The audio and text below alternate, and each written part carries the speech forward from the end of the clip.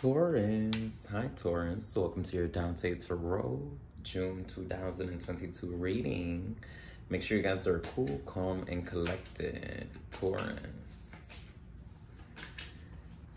Taurus, here we go, baby. Taurus, look at you. I'm dead. That's how true that is. It's a whole lot of money in this motherfucker. Bitches is mad. Bitches is mad. Taurus got the money. Taurus got the stability. Taurus got the security. Taurus got the hip on the grip. Got the grip on the hip. Something like that, you know?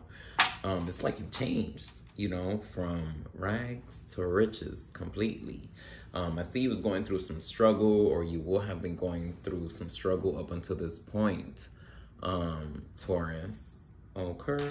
Um, I see you feeling left out in the cold. I see somebody feeling left out in the cold by you. They feeling a little stepped on by you, um, Taurus. This person is feeling like, damn, you don't counted them out, but I see you kind of wanting to reunite or trying to start something new with this person.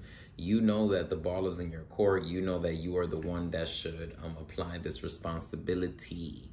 I see this person is coming into a high position, you know, and so are you, you know. I see this person looking a little more concrete to, to you than they did in the past, you know, and you accepting it. Um, I see you about to make a move. You're about to make a big purchase, you know, as you're going throughout the month, my darling. I see uh, you coming into union. You coming into a celebration. There's definitely going to be some sex here, some enjoyment, you know, some good times, you know, some closure being had, you know, because there were some questions that you had unanswered um, within this time. Um, and emotionally, you know, you put a lot of things in retrospective. You know, you've really sat down and, you know, try to figure out what the void was that you had within yourself, you know, and now I see you really wanting to apply yourself and you kind of realizing like there was so much more to you than you was allowing, you know, it to be, you know, and that's what you're kind of seeing now. Um, what you gonna call it?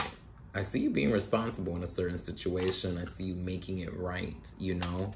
But I also see some truths being exposed, you know? It's like, damn, right when you get there, it's like you find out something like completely crazy. And then it just makes you realize how much, you know, you in love with this person. I see you scared of how much you truly love somebody, of how much you truly like admire somebody, um, Taurus. You's a little scared, my darling you really, really, really love somebody, you got to make a choice here. You got a few options in love. You got to make a choice. Which one is it going to be? Ding, ding, ding.